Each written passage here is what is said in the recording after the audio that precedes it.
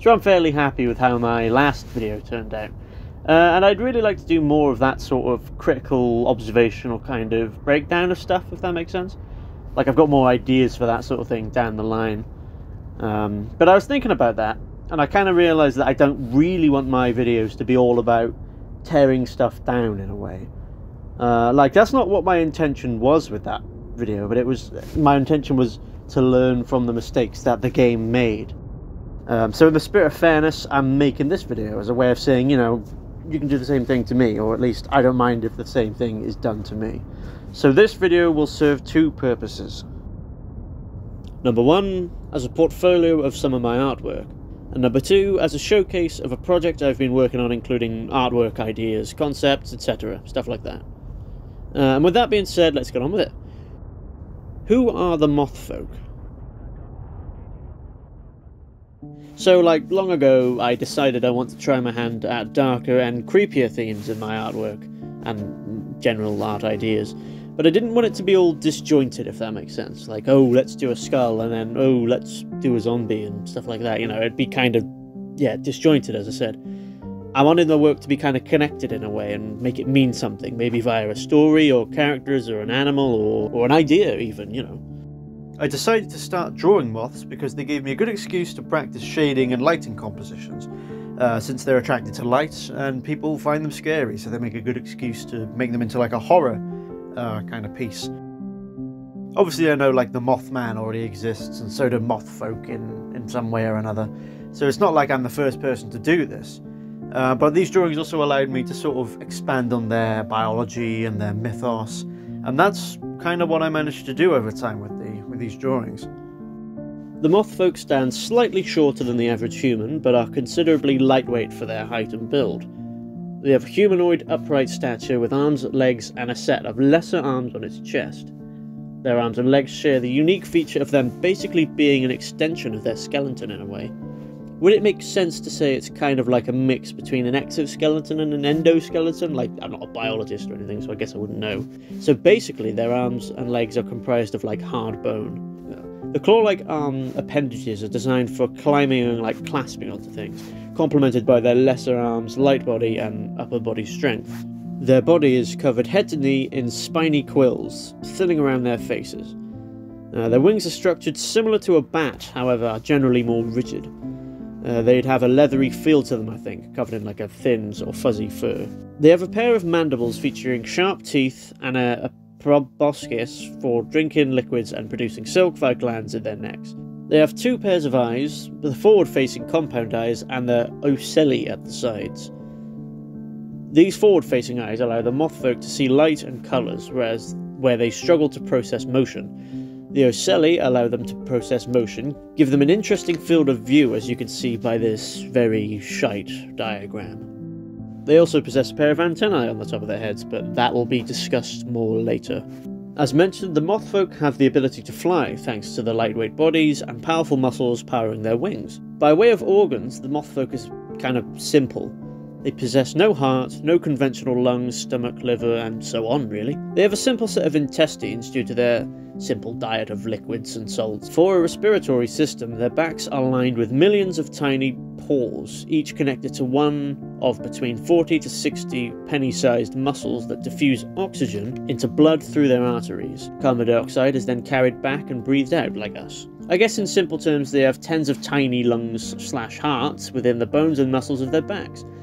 This style of breathing grants them near unlimited stamina, but due to their breathing completely automatic, they cannot be submerged underwater, and are very susceptible to toxic gases. Their minds are tiny and can be barely considered more than an entanglement of sensory nerves and muscles. Regarding their reproductive cycle, they reproduce asexually via an unknown process. This makes them all hermaphroditic.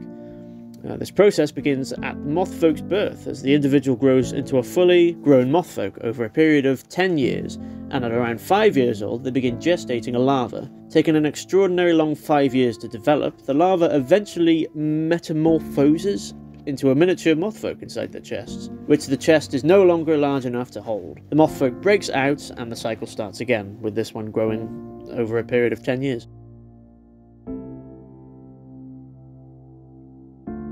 They are nocturnal creatures solely because the sensitivity of their eyes would blind and distract them. In fact, this problem plagues them during the night too. They seem to have a paralysing obsession with light and where it comes from, going to suicidal extremes to find it.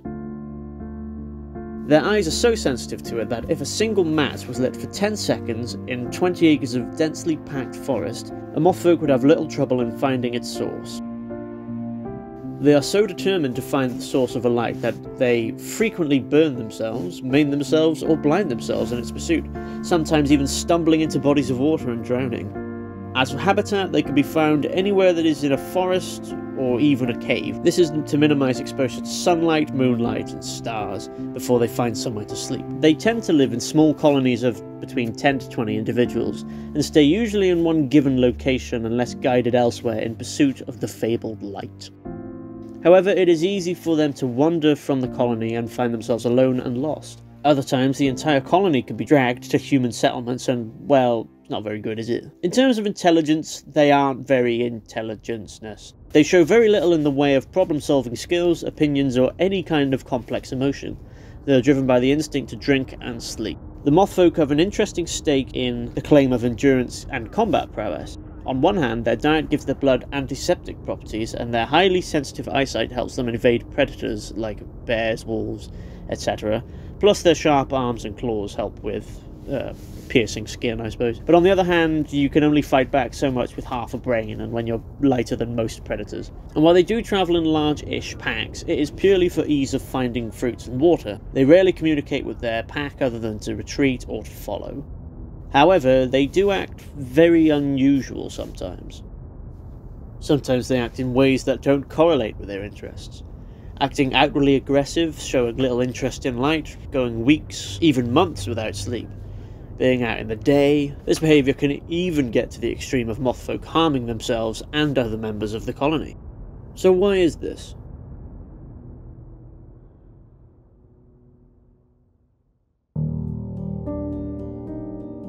There is a 1 in 900,000 chance that a mothfolk can be born with their male chromosome suppressed, and an entirely female creature can be born. The female goddess shares its smaller underling's biology and frame four arms, two legs, upright walk, wings, etc., but are much, much larger, actually dwarfing them. As well as this difference, the goddess does not give birth in the same way as the smaller ones.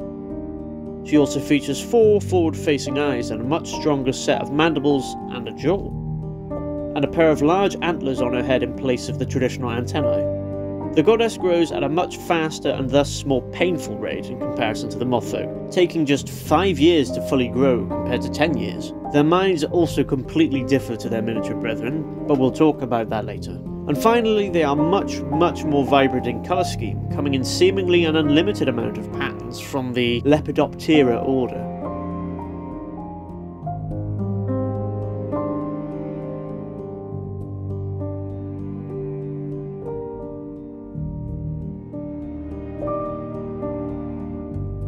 The intelligence of a goddess deserves its own segment because it could be seen as the most drastic difference she has between the mothfolk. The underlings could be easily described as animalistic, purely motivated by thirst and whatever else.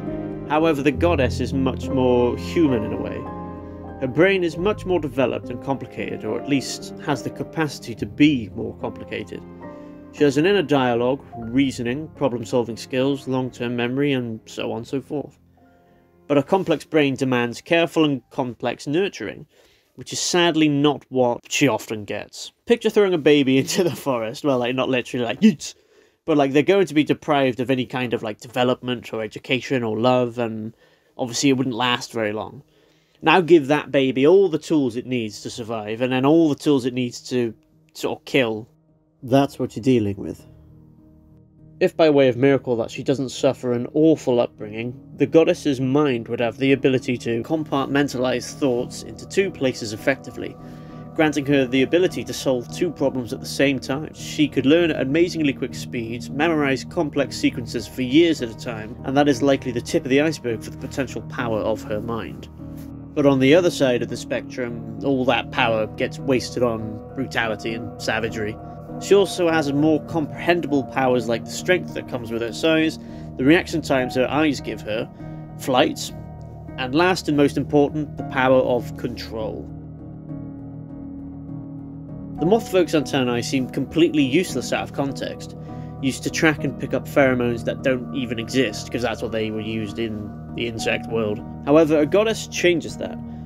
The antlers on her head give her the ability to attract swathes of mothfolk from miles upon miles away via pheromones, as mentioned. This is surprising since mothfolk normally do not mix with members of another colony, so the goddess has the power to combine colonies into what is called a nest. Named such because the rate the mothfolk develop silk exponentially increases, developing more homes, or hives I guess you could call them, and places to stay. The control goes beyond attraction, however. With her horns, the goddess has the ability to command orders to her underlings forage, build, search, destroy, fight. You see how it is. That is why it's imperative to the Mothfolk that the goddess isn't a complete fucking moron psychopath. It seems like she has the ability to not only control their actions, but influence their state of mind. Perhaps making them all panicked and terrified would make them produce or expand a nest faster, or making them ignore pain and fear would get them to drive out humans from a location more effectively. Not only that, but this influence and control demands an allegiance, an undying loyalty. Now obviously this wouldn't be doable with a mind as simple as the smaller moth folks, but under the influence of her, it seems like the underlings start to change. During the five years it takes for the goddess to fully develop, her mere presence begins a sort of transformation within the nest. Their minds begin to grow and change, becoming more than just an entanglement of sensory nerves, now becoming a fully fleshed, even if small, brain. They begin acting more curious, and emotions they convey through body language become more frequent and more intense too. They develop problem solving skills, primitive opinions, and can even be seen communicating with other members of the nest, speaking with an entirely new and unique body language and gestures. A, a language that no other nest possesses too. They become more individual only to become more obedient. Along with this mental development, the mothfolk also undergo drastic and painful changes to their anatomy. They undergo a state of sequential hermaphroditism, transforming from both genders simultaneously to being just male. Sounds an awful lot like a Twitter bio.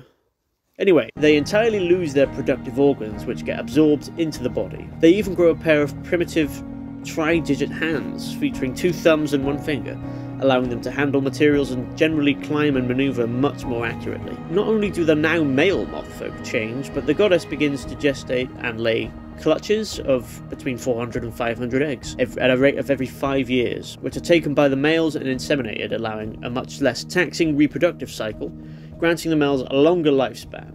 But even then, the effects of the control don't end, because they seem to have a sort of zoonotic effect on our minds, manifesting as anxiety attacks, outbursts of intense paranoia, nausea, and hallucinations of strange, murky figures that aren't actually there.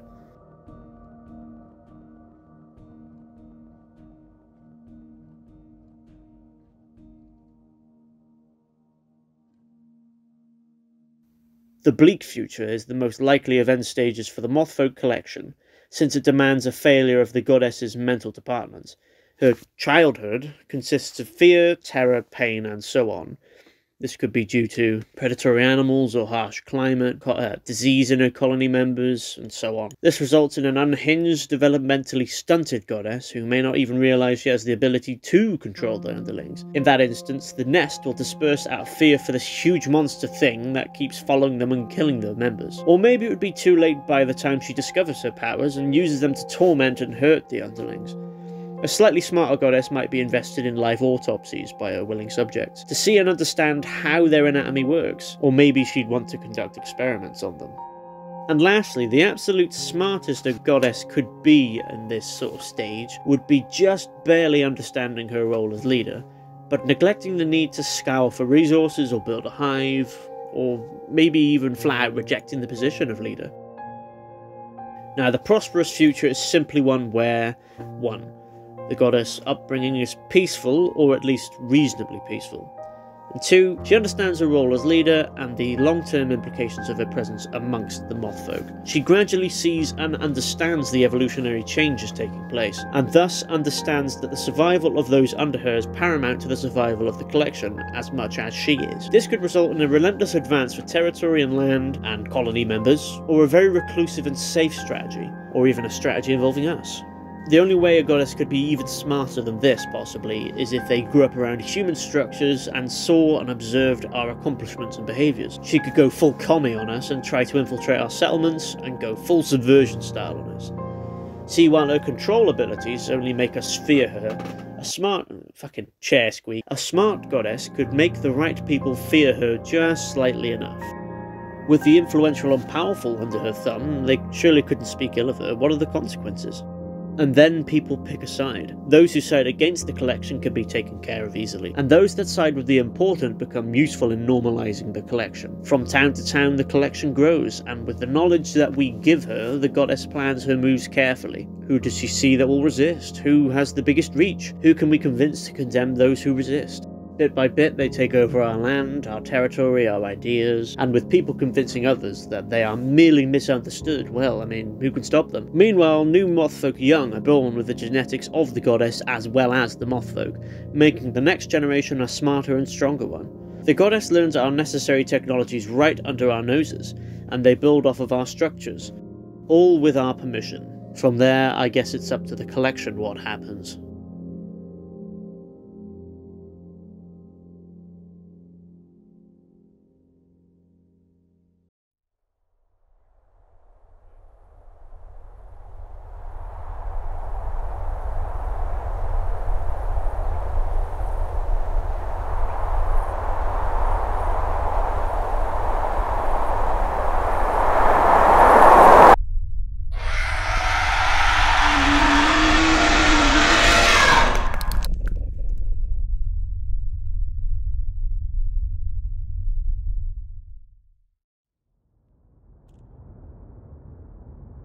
Thank you very much for watching.